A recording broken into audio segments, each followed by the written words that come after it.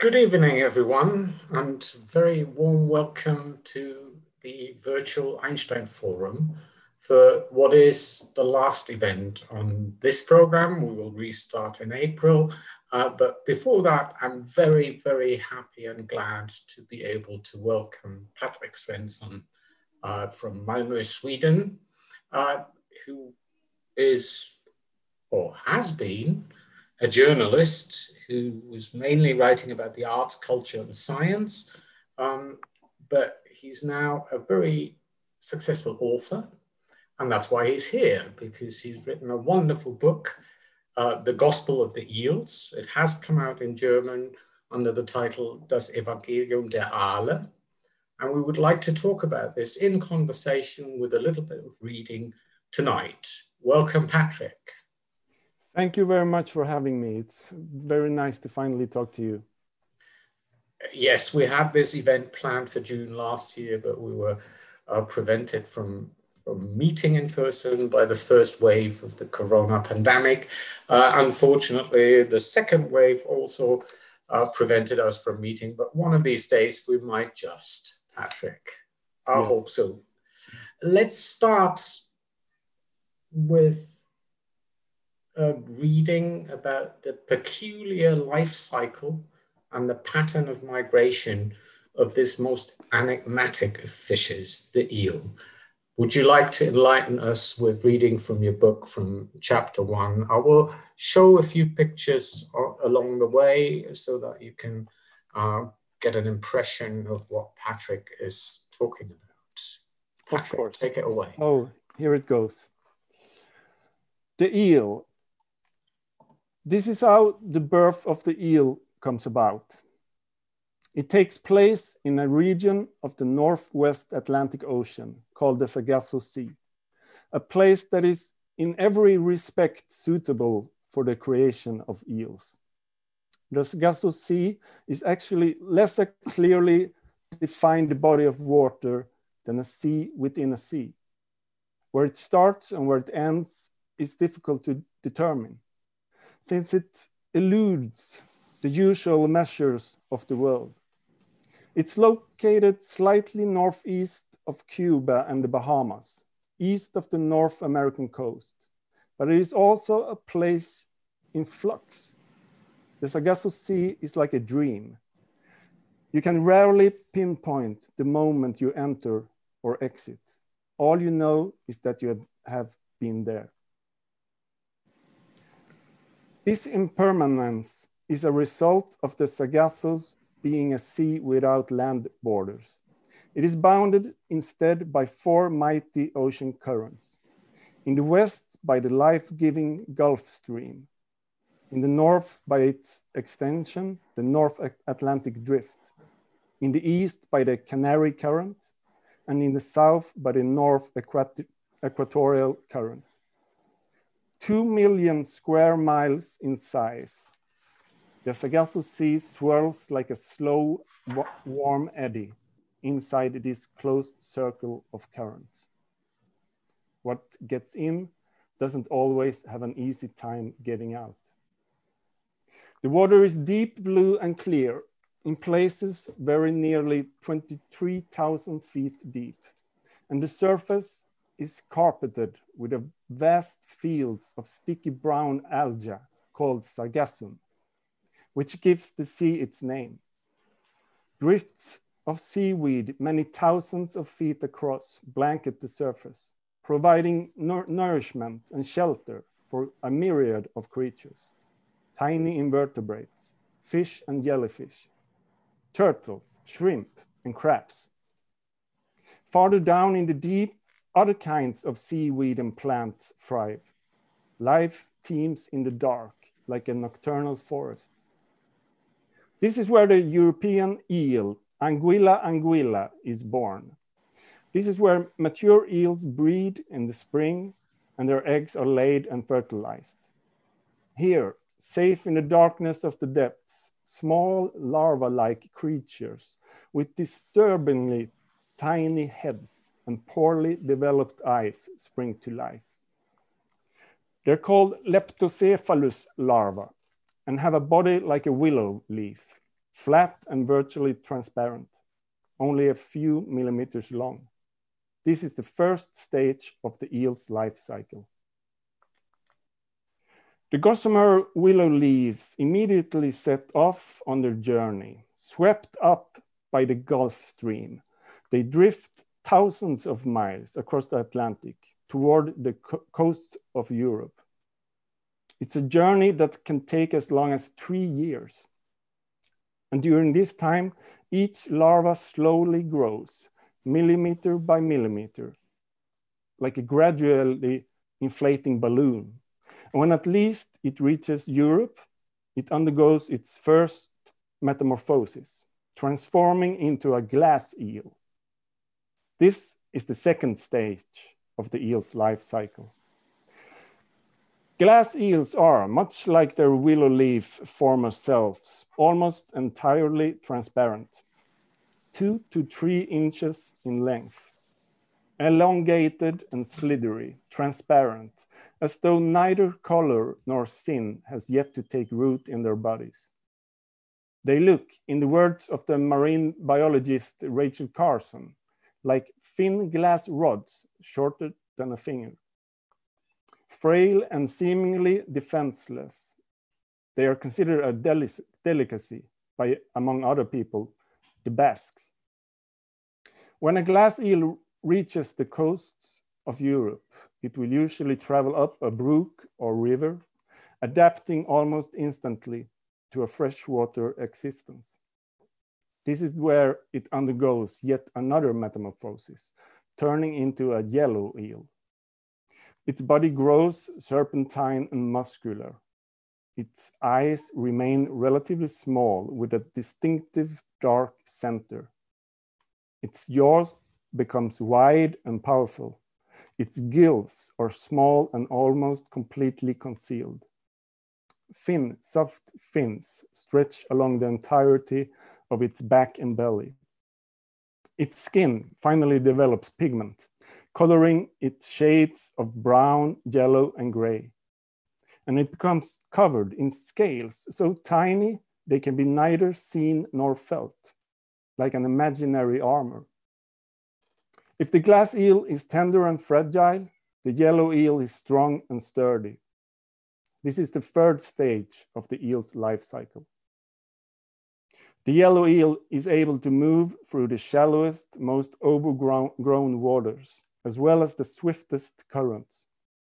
It can swim, swim through murky lakes and up tranquil streams, up wild rivers and through lukewarm ponds. When needed, it can pass through swamps and ditches. It doesn't let circumstance stand in its way. And when all aquatic possibilities have been exhausted, it can take to dry land, slithering through moist brush and grass in pushes toward new waters that can last for hours. The eel is, thus, a fish that transcends the piscine condition, perhaps it doesn't even realize it's a fish. It can migrate thousands of miles, unflagging and undaunted, before it suddenly decides it's found a home. It doesn't require much of this home. The, the environs are something to adapt to, to endure and get to know. A muddy stream or lake bed, preferable with some rocks and hollows to hide in and enough food.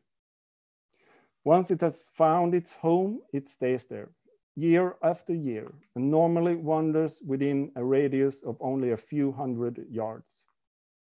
If relocated by external forces, it will return as quickly as it can to its chosen abode. Eels caught by researchers, tagged with radio transmitters and released many miles from their point of capture, have been known to return to where they first found within a week or two. No one knows exact, exactly how they find their way. The yellow eel is a solitary creature. It usually lives out the active phase of its life alone, letting the passing season, seasons dictate uh, its activities. When the temperature uh, drops, it can lie motionless in the mud for long periods, oddly passive, and at times entangled with other eels, like a messy ball of yarn. It's a nocturnal hunter. At dusk, it emerges from the sediment and starts looking for food, eating whatever it can find worms, larvae, frogs, snails, insects, crayfish, fish, as well as mice and baby birds when given the chance. It is not above scavenging. In this way, the eel lives out the greater part of its life in a brownish yellow guise, alternating between activity and hibernation, seemingly lacking any sense of purpose other than its daily search for food and shelter as though life was first and foremost about waiting, and its meaning found in the gaps or in the abstract future that can't be brought about by any means other than patience. And it's a long life. An eel that successfully avoids illness and calamity can live, can live for up to 50 years in one place. There are Swedish eels who have made it past 80 in captivity myths and legends tells of eels living to a hundred or more. When an eel is denied a way to achieve its main purpose in life, procreation, it seems able to live forever, as though it could wait until the end of time. But at some point in its life, usually after 15 to 30 years, a wild eel will suddenly decide to reproduce. What triggers this decision, we may never know. But once it has been made, the eel tranquil existence ends abruptly and its life takes on a different character. It starts making its way back to the sea while undergoing its final metamorphosis. The drab and indeterminate yellowish brown of its skin disappears. Its coloring grows clearer and more distinct. Its back turns black and its sides silver, marked with stripes, as though its entire body changes to reflect its now newfound determination. The yellow eel becomes a silver eel. This is the fourth stage of the eel's life cycle. When autumn rolls out its protective darkness, the silver eel wandered back out into the Atlantic and set off toward the Sargasso Sea. And as though through deliberate choice, the eel's body adapts to the conditions of the journey. Only now do its reproductive organs develop. Its fins grow longer and more powerful to help uh, propel it. Its eyes grow larger and turn blue to help it see better in the depths of the ocean. Its digestive system shuts down. Its stomach dissolves. From now on, all the energy it needs will be taken from existing fat reserves. Its body fills with raw or milt. No external interference can distract the eel from its goal. It swims as, as much as 30 miles a day, sometimes as deep as 3,000 feet below the surface. We still know very little about this journey. It may take the trip in six months, or it may stop for winter. It has been shown that a silver eel in captivity can live for up to four years without any nourishment at all.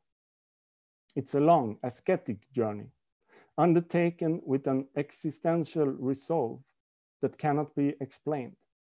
But once an eel reaches the Sargasso Sea, it has once again found its way home. On the swirling blankets of seaweed, its eggs are fertilized. And with that, the eel is done, its story complete, and it dies.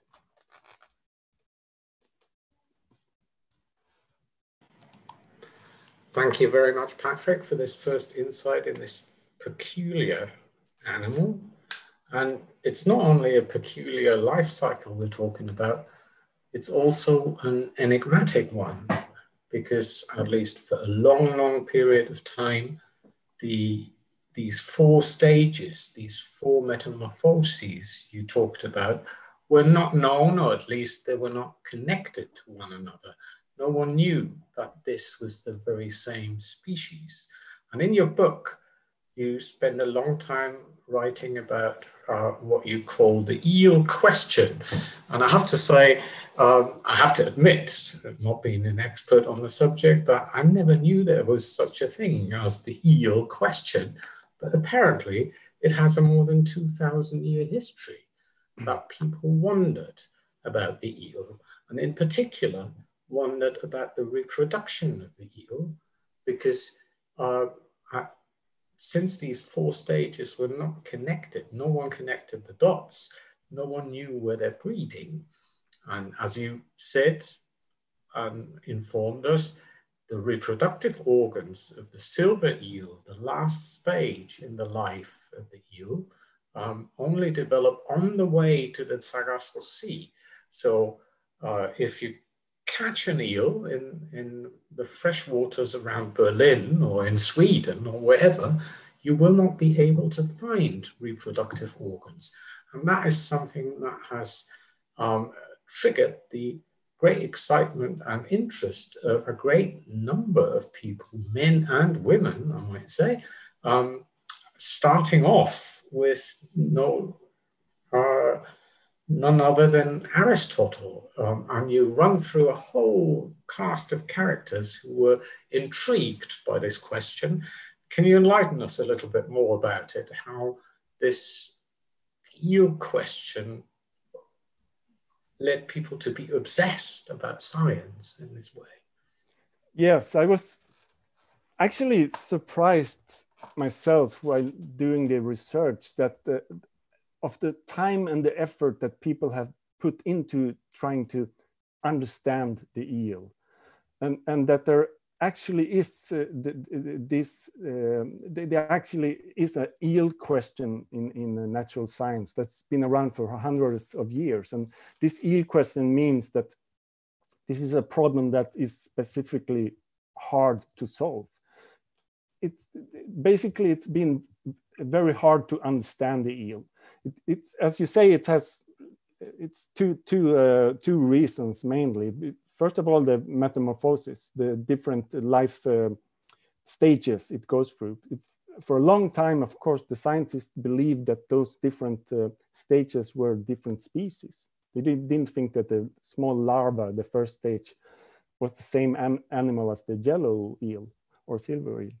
And the second uh, uh, reason has to, of course, to do with uh, reproduction. How does the eel breed? When you study, catch an eel in Europe and study it and look for the, the se sexual organs, you won't find any because it doesn't um, develop them until they're on the way to the Sargasso Sea. And this was for a very long time a, quite a big thing in the, the, world of natural science. And it started, as you say, say with Aristotle. He studied a lot of, um, uh, did a lot of studies on the studies on the natural world, and he was seemed to be uh, especially interested in in the eel. If you read his big uh, uh work, the, the the history of animals, he writes a lot about eels there, and of course, he studied them. He tried to find the sexual organs and, and he didn't find any. And he came to the conclusion that the eel doesn't reproduce. Unlike most other animals and fishes, it, it uh, doesn't uh, reproduce at all. It becomes, it comes to life out of nothing. Life that it come that suddenly uh, start without no uh, reproduction. He said that eel uh, is born uh, as a small larva out of the mud at, at the bottom of uh, seas and rivers. And this um, conclusion actually lived on for into modern times almost. We, we have to go to the 1800, uh, the 19th century before scientists at, at last could actually prove that the eel had sexual differences and that it had reproductive organs and that it actually breeds uh, just like other fish do. This Aristotelian idea of, let's say, spontaneous generation out of mud or whatever. Yeah. Um, that must have traveled really well over the centuries because it, it seems to me, and, and, you alluded to this in the book as well, that is somewhat akin to religious beliefs about divine creation. It's creating something out of nothing. Suddenly something is there. Yeah. And before there was nothing, uh, yeah. which, which is weird. But let me get to another one of those um, silent heroes of your book. Um, it's one in a long line of scientists um, who were pretty concerned about the eel question, and it's a surprising character. We all know him. It's Sigmund Freud. And perhaps you can tell us a little bit about good old Sigmund's time in Trieste and um, what he did before he got into psychoanalysis. Yeah, that's one of the. When I when I was uh, writing this, the, to, to a, a big, uh, large degree, it's a book about mm, the history of natural science, and and I found out that that um, uh, if um, the, the important question was, wasn't what do we know about the eel, but I also had to ask, how do we know the things we know about the eel? And that's when you find all these stories and you find all these characters. And, and you find the story about Aristotle studying eels. And, and then you found, uh, find uh, Sigmund Freud. And uh, quite surprisingly, but, but uh, it, it also is a, a great story, I think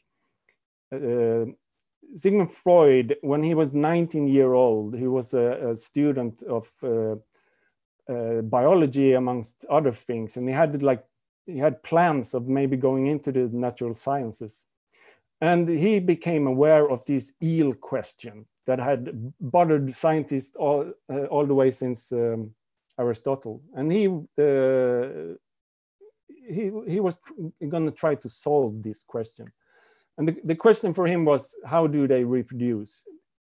Do the eel have sexual differences? Are there male and are there females? No one really knew that. Then suddenly a, a, a, a sign, uh, um, someone find, found a um, female eel with, with sexual organs. And then it was, the, the question was to find a male eel with sexual organs to, to really proved that there was both male and females. So Sigmund Freud, he went to Trieste uh, in what is uh, today uh, Italy, and uh, he was going to find a male eel with sexual organs, or as he uh, himself uh, described it, he was going to find an eel testicle. And he spent about a month in Trieste studying eels. Every morning he went down to the harbor, got a big basket full of uh, eels freshly caught in the Mediterranean. And then he, uh, went to his laboratorium and he uh, uh, was there all day cutting up eels, looking for this eel testicle. He, he studied more than 400 eels and didn't, of course, didn't find one single small eel testicle. And had to write a, a, a disappointing report about uh, not being able to, able to solve this old mystery and that the ear question was uh, still there. And of course, you have to at least think that it may have affected his later later career, that he left natural science and went into the, the human psyche instead and maybe because the, the, the human is, is easier to understand than the eel. And also this is, this is the man that, that had later would delve deeper into the human mind and into human sexuality than, than anyone before him. This is the man who, who uh, wrote about the, the, the theories about castration complex and about penis envy and you have to imagine that this was the man who started his scientific career trying to explain the sexuality in a fish, actually trying to find the male sexual organ in a fish uh, uh, and failed. I, that makes you wonder if psychoanalysts today do appreciate the great contribution made to their profession by the eel. But never mind, let's get to the stage where um, now, I guess it was somewhere in sometime in the 19th century that at least the uh, someone connected the dots and realized that those four uh, stages in the life cycle of the eel are in fact the same animal, um, which didn't do much to solve the mystery of the eel. It merely shifted the ground because the question became a different one, and that was, where do they breed? If these willow leaves that come floating across the currents in to the European waters turn into the glass eel, then the yellow eel, and then back into the uh, silver eel that travels back. But where do they travel to? And to find this out, uh, we have a great and very persistent, you could even say a stubborn marine biologist, a Dane uh, named Johannes Schmidt. Tell us a little bit about Johannes Schmidt, which seems to me at least, to be an outstanding character when it comes to persistence in the search for the breeding ground of the eel. Yes, uh, Johannes Schmidt was a Danish, uh, a brilliant young scientist uh, around the year of 1900. A lot of things had been happening in, in eel science uh, the decades before, after Sigmund Freud's failure they actually managed to find a, a, a, male eel with sexual organs and they could prove that the, the eel reproduces just like any other animal and they found out that the, these different metamorphoses that different stages uh, they were all um, uh, the same the same species. But still there was a big uh, mystery left. And uh, there was a there was a uh, famous uh, natural scientist just ar around the year 1900 uh, that gave a speech where he said that now the natural sciences have solved every question in the world except the eel question. Like, like now we know everything except how, how the eel uh, uh, functions. And the big question at this time was where does the eel reproduce? Because they knew that the, the silver eel goes out to the ocean and it disappears and they knew that it didn't come back. They also knew that, that every spring these small eel larvae come to the European coasts, but where do they come from? Where does the eel breed? So this Danish Johannes Schmidt, he was gonna um, answer this question and he had a, a method. He would go out in the ocean on a small boat and he would catch those small larvae, these willow leaf uh, like larvae, and he would measure them. And when he found a place where they were the smallest, that actually has to be the, the birthplace of the eel. The only problem with his method is that the, the, the these uh, eel larvae is very small and the Atlantic Ocean is very big. So he started uh, sailing around the European coasts for seven years. He, he went, uh, went, uh, went on the ocean in 1904 and until 1911, he, he just sailed around from uh, uh, at the European coast and he caught a lot of larvae, but they were all quite big. So he understood that he have to, um, after seven years, he understood that he have to go further out to sea, further west on the Atlantic Ocean. And when he did this, he, he, he uh, actually, he saw that the larvae were getting smaller. For every mile uh, west he came, the, uh, the eel larva was smaller. Then, of course, there was the, um, the World War that, uh, that made it very difficult for him to continue his studies, and he had to stay uh, in Copenhagen for a couple of years. But as soon as the war has ended, he was out there again catching small larvae on the Atlantic Ocean. And he spent almost 20 years, 18 years in that boat out on the Atlantic Ocean, catching small larvae and measuring them until he found a place where they, they were just a couple of millimeters uh, long, these larvae. And he could put a mark on the, on the um, map and say that this is where it happens. This is where all uh, eels are born. Uh, and this was in the Sargasso Sea. And the, the amazing thing about that story too is that the only thing that Johannes Schmidt found in in the um, Sargasso Sea was these small newly born larvae. And this also tells you something about how science works and how knowledge is produced. When we say that we know that all eels are born in the Sargasso Sea, it's because of Johannes Schmidt and his studies. But the fact is that he never even saw any uh, mature eels in the Sargasso Sea. He never saw them breeding. And still today, no, no, no one has ever seen eels breed, and they won't do it in captivity. And the fact is also that no, uh, no, no one has even today even seen an, a, an eel in the Sargasso Sea, just those small larvae. No one has seen a mature eel in the Sargasso Sea, live or dead. And that's that make that makes it almost philosophical I, I think but about how knowledge is produced and and uh, and uh, how how how we actually know the things we do. And where is where exactly is the the line between knowledge and and the, what you would call faith? I'm sure we'll come back to that in a little while but, but before we do so I'd like to draw attention to the fact that you're quite right that uh, large parts of your book uh, could be seen as a history of science.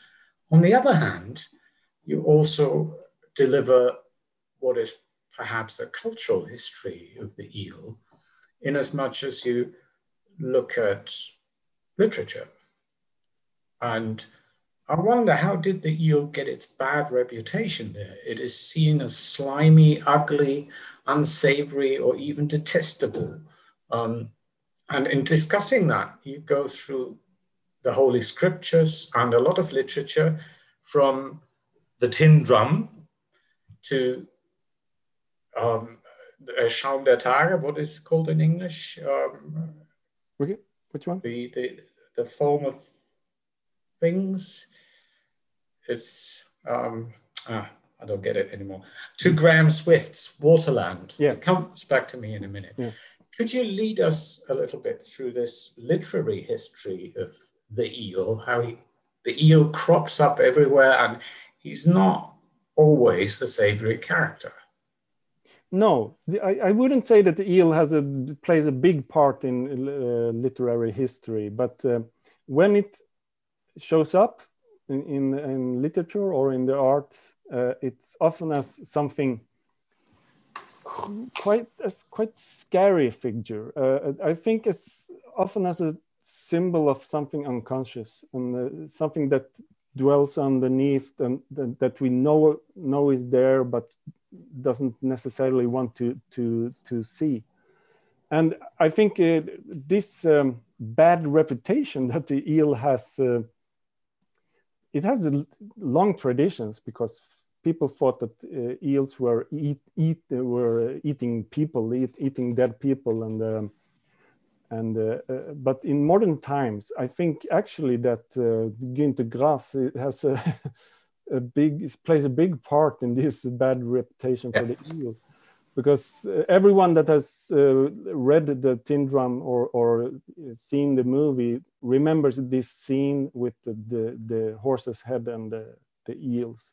And the, when I talk to people, uh, even in Sweden, a lot of people bring this scene up with uh, Grass. And the, in, and the eel is actually playing a, a, a quite an uh, important uh, role in, in the tin drum. And, and I would say just, uh, as I said, as a symbol for, for, for the unconscious, I think. And you reconnected with Sigmund Freud in this context, with the uncanny. Yeah. Um, but that's that aside. The reputation of the eel is quite different in nature writing, just like yourself. There are many who are fascinated with the eel's life cycle and in particular with the mystery of reproduction. and in many cases, that overrides this uncanniness of the eel. And your hero, it seems to me, in this context is Rachel Carson uh, with her book um, Under the Sea Wind, a famous zoologist, author, and pioneer of the environmentalist movement. And she, as far as your quotes tell us, positively embraces the mystery of the eel, this open question. Uh, and it, she uses a very poetic language whenever she strays from the established scientific facts, which comes back to your philosophical point about where does our, uh, uh our knowledge actually stop being certain and where does it require faith? Um, and she gets around this by using anthropomorphism. She actually names the eel, um, and it's a she, and she explores her thoughts and feeling of this eel named Anguilla. It's a fable of sorts. Um, and that leads me to a question regarding your own approach to nature writing. Um, and here, my impression as a reader was that you're somewhat torn. Um, again, it concerns, as many other parts of the books, what you might call the limits of knowledge. On the one hand, you call yourself an empiricist. Um, mm. you, you cite approvingly Thomas Nagel's answer to this famous question, what it is like to be a bat. And put simply, we cannot know the answer to this question. We cannot know what it is like to be a bat. We cannot know the consciousness of another human being. Then how does one, how do you take the perspective of the eel? It seems to me that anthropomorphism seems unavoidable. Um, yeah. In particular, when it comes to the last metamorphosis, I mean, you, then ask when, how, and why does the eel decide, let mm. alone the word decide, mm. to turn into a silver eel and reproduce and yeah. go out to sea? What does the eel feel? A longing to return to its origin? Like Rachel Carson's Anguilla? Are you not anthropomorphizing yourself? I may be, I may be a, a, little bit at least, but I, I find that very interesting. I, I, when I wrote the book, I had a, I struggled with this because uh, um, that, that's a that's the that's a mystery. When does the silver eel decide to decide to go back to the Sargasso Sea? Because uh, when you study them, you can see that some some uh, eels uh, uh, becomes silver eels and uh, goes to the Sargasso Sea when they are like six or seven years old. Other eels do it when they are 50 or more years old. What, what is it that triggers this metamorphosis? But when I use words like the eel longing to the Sargasso Sea or deciding to go, I, my inspiration really was Rachel Carson because I, I, was struggling with this, but then I, when I read her, especially her first book, uh, Under the Sea Wind, where she writes about eels, I understood that I, I truly believe that it's possible to write and be totally scientifically uh, uh accurate and, and correct, and but still use um, maybe tools or methods that are more uh, more associated with um, literature or art. And what uh, Rachel Carson does, she she she gives the animal human emotions and human experiences and uses human concepts. And she actually this, uh, uh, explained this in a, in a letter she wrote about her first book that when she said that she, for example, she wrote about the eel being scared. And she said, I understand that it, the eel doesn't experience fear in the same way as a human being uh, does. For, for the fish, it's mainly physical. For the human being, it's mainly uh, psychological.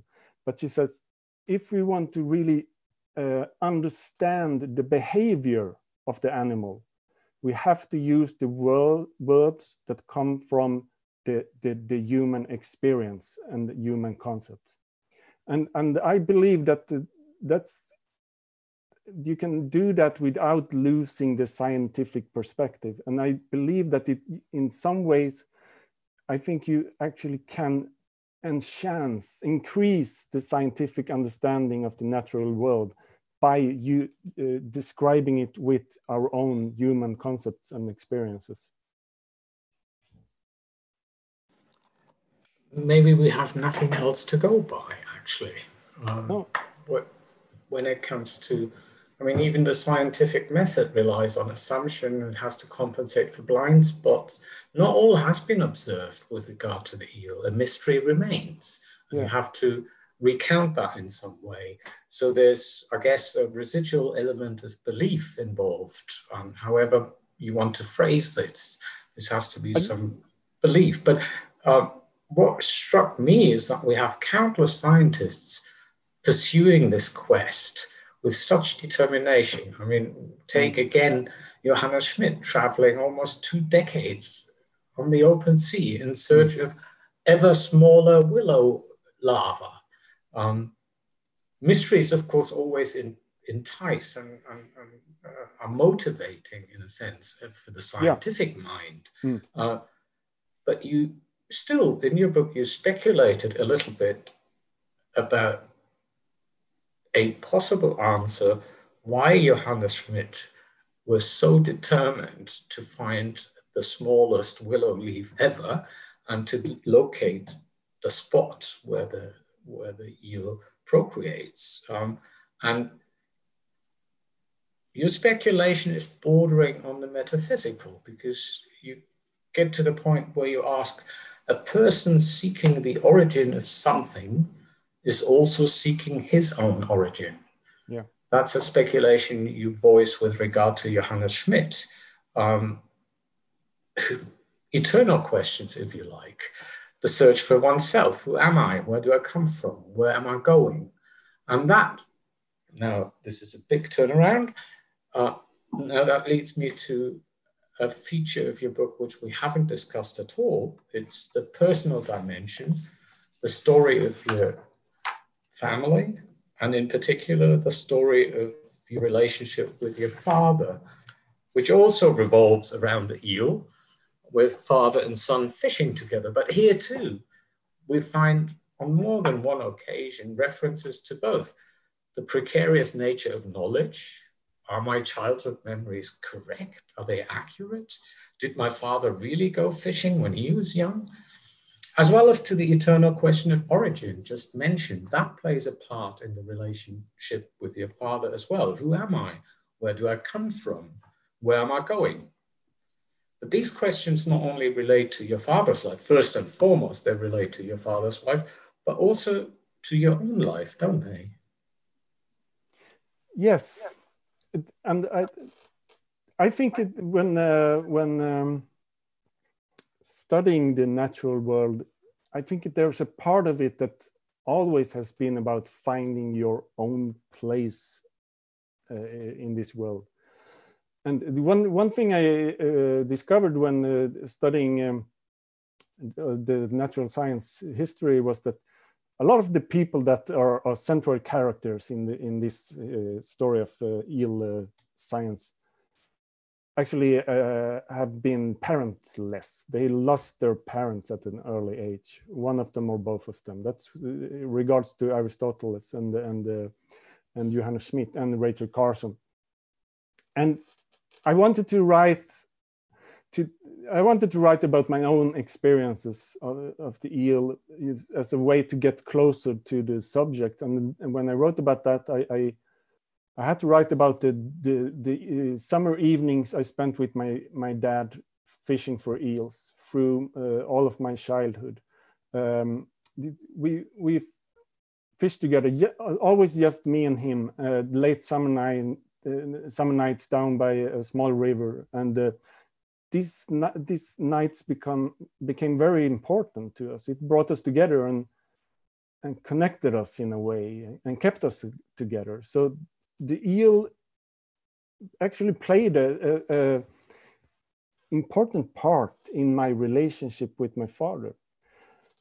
And this would, when when writing in these two different stories, the stories about me and my father and my my childhood and our relationship, and uh, on the other hand, the scientific story about the eel and the cultural history and the, the biology and everything.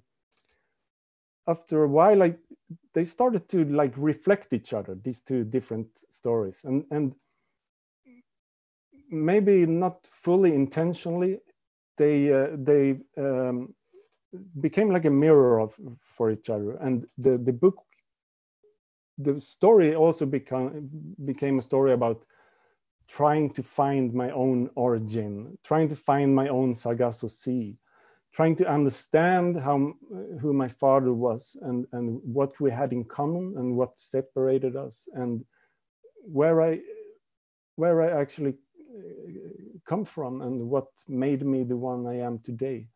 And this, um, I think the, the, the story, the, the eel's migration to the Sargasso Sea and this, uh, the fact that the eel just only can reproduce in the Sargasso Sea, that it has to go back to its origin. It has to find its way back home at some point in life it, it started something in my own mi mind and my own memories of uh, my childhood and thinking about my own life that i think a lot of people get this urge at some point in their life to to go back to where they came from. Maybe just in the mind but you have to do, to understand better where where you came from and, and what made you the one you are. So so, so they became reflections of each other. Different stories, but weirdly tied together. Would that be an appropriate time to give us a taste of this by reading from the second chapter, just a short passage, so that we get an impression of how this relationship connected between you and your father um, on the riverbanks? Yes, sure. It's just the first uh, small chapter about my, my me and my father fishing for eels. My father taught me to fish for eel in the stream bordering the fields of his childhood home. We drove down at dusk in August, taking a left of the main road to cross the stream, stream and turning onto a small road that was little more than a tractor path in the dirt, winding down a steep slope and then moving parallel with the water. On our left were the fields, the golden wheat brushing against the side of a car. On our right, the quietly hissing grass. Beyond it, the water. Around 20 feet wide, a tranquil stream meandering through the green greenery like a silver chain, glinting in the last slanted rays of the setting sun. We drove slowly along the rapids, where the stream rushed in a startled fashion between the rocks and past the twisted old willow tree. I was seven years old and had already gone down this same road many times before. When the tracks ended in a wall of impenetrable vegetation, Dad turned off the engine and everything went dark and still, aside from the murmur of the stream. We were both wearing wellies and greasy vinyl vaders, mine yellow and his orange. And we took two black buckets full of fishing gear, a flashlight and a jar of worms from the trunk and set off. Along the bank of the stream, the grass was wet and impenetrable and taller than me. Dad took the lead, forging a path the vegetation closed like an arc above me as I, as I followed. Bats flitted back and forth above the stream, silent, like black punctuation marks against the sky. After 40 yards, Dad stopped and looked around. This'll do, he said. The bank was steep and muddy. If you missed your step, you ran the risk of falling over and sliding straight into the water. Twilight was already falling. Dad held the grass back with one hand and carefully walked down on a diagonal, then turned around and held his other hand out to me. I took it and followed with same practiced caution. Down by the water's edge, we tramp, trampled out a small ledge and set down our buckets. I imitated Dad, who was mutely inspecting the water following his eyes, imagining I saw what he saw. There was, of course, no way of knowing whether this was a good spot. The water was dark and here and there stands of reeds stuck out of it, waving menacingly. But everything below the surface was hidden from us. We had no way of knowing, but we choose to have faith, as from time to time a person must. Fishing is often about exactly that.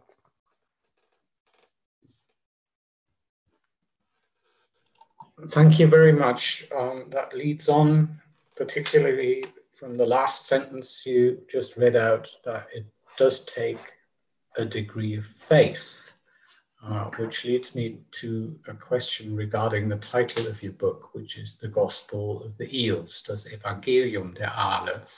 And it is actually uh, explained, that choice of title is explained in a crucial chapter, not a very long chapter, but a crucial chapter, which is entitled Becoming a Fool.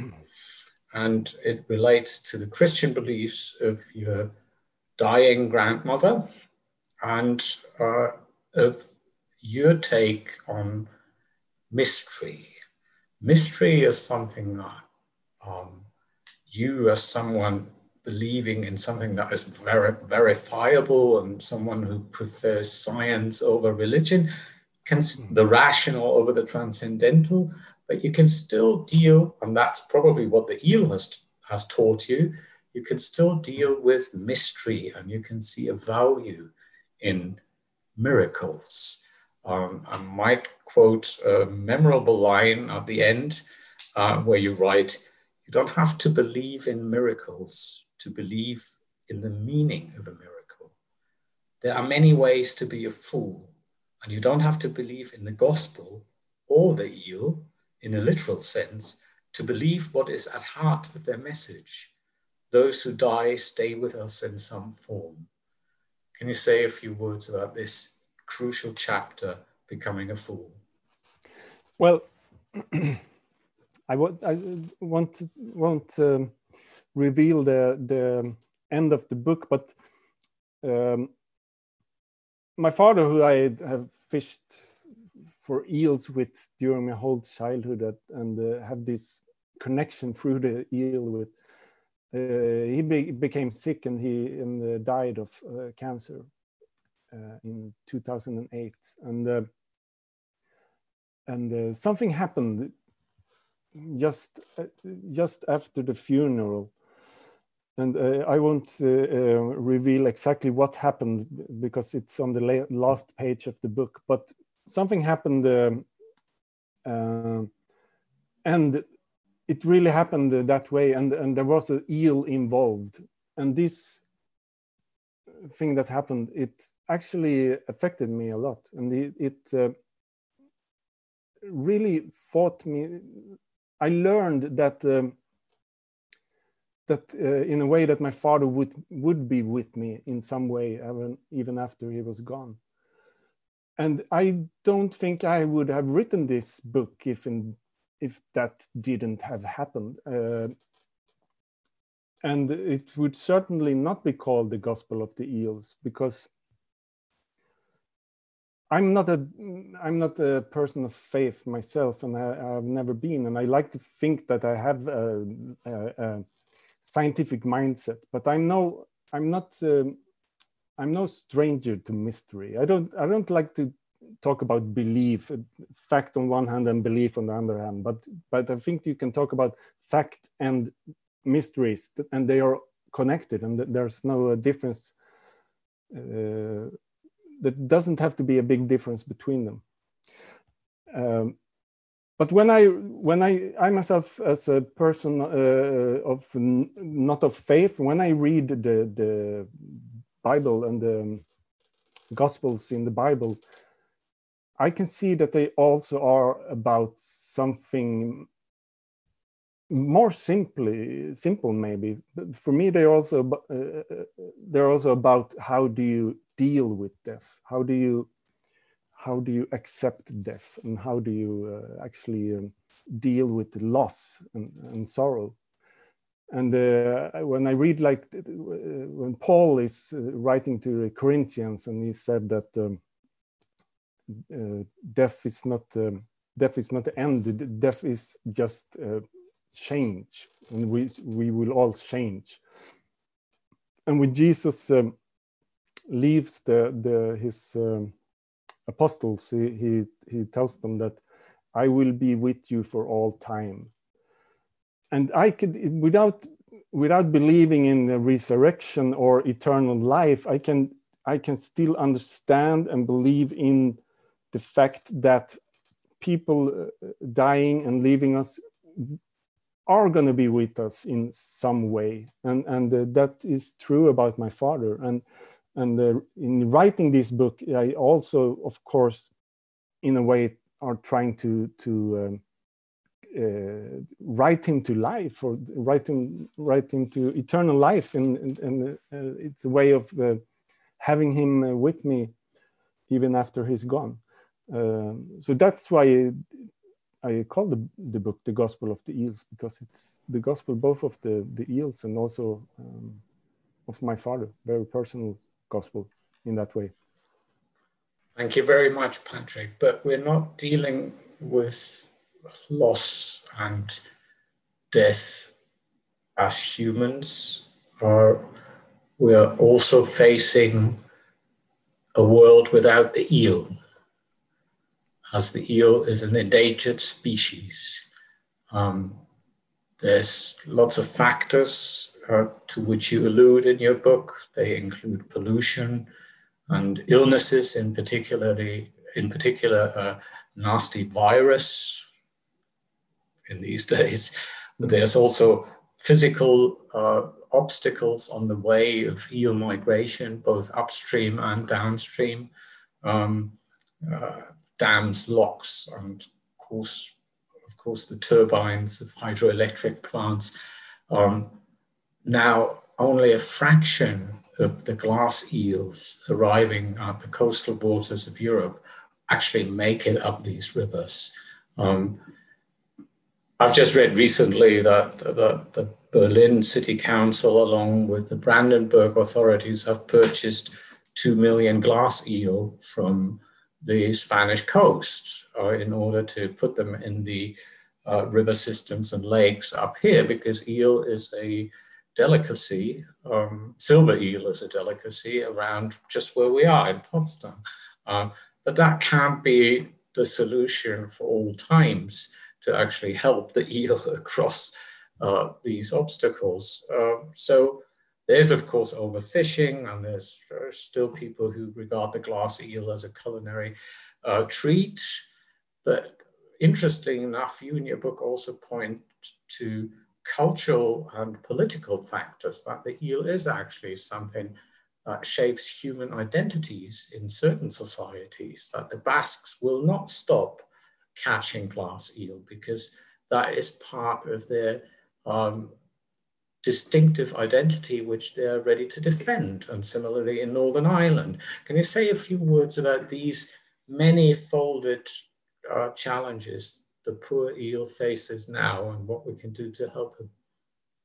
Yes.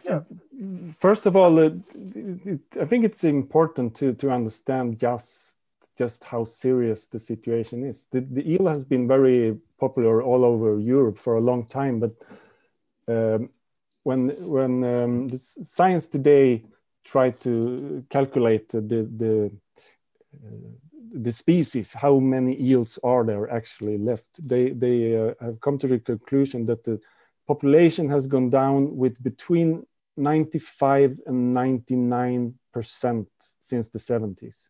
It's very very dr dr dramatical and that uh, makes the eel uh, it's listed as uh, critically endangered that's the that's the most serious category and it could could could be uh, actually extinct uh, in in um, in our lifetime.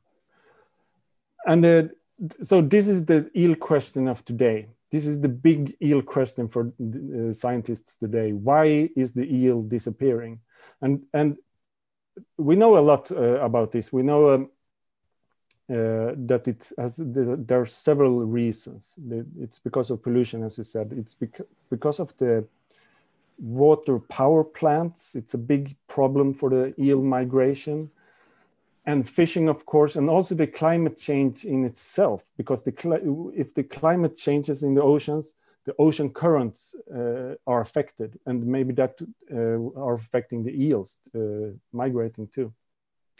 But we don't really know what is the biggest problem, and that there's where the politics come in, because as you said in in uh, the Basques and uh, also in uh, Ireland and uh, very much in Sweden, in the southern southern part of Sweden, where I'm uh, where I'm coming from, the eel fishing and eel eating has become a very important tradition, and uh, it's it's a cultural history of this place where it has been very important for the identity, as you said. So that's when when uh, we if we are going to try to stop the eel fishing, we could put a total ban on eel fishing in all of uh, Europe.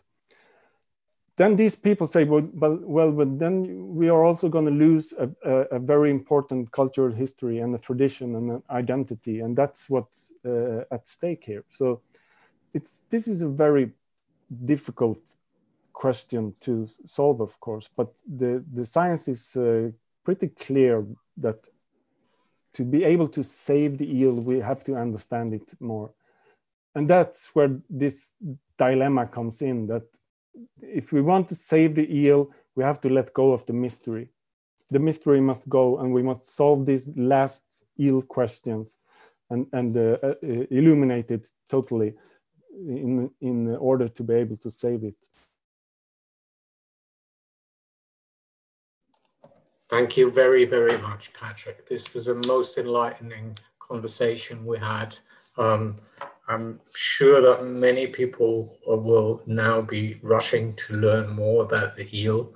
And I do sincerely hope that there are ways and means to be found to save the eel for another generation at the very least, so, so, that it wouldn't be in our lifetimes that we see him disappear. And thank you very much for your wonderful words. And I hope to see you soon um, with a new project, which you alluded to, but not gave away what it is. Thank you very much, Patrik Svensson, and thanks to all of you who listened in. Um, we will be back with the Einstein Forum in early mid-April. Uh, look out for more on this channel. Thank you very much. And bye-bye. Bye-bye, Patrik. Thank Thanks you very again. much for having me. Thank you.